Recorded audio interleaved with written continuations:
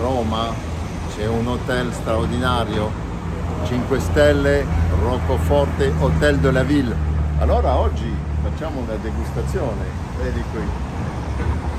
Proviamo a vedere se questo so chic è abbastanza chic per l'Hotel de la Ville. Io penso di sì. Vediamo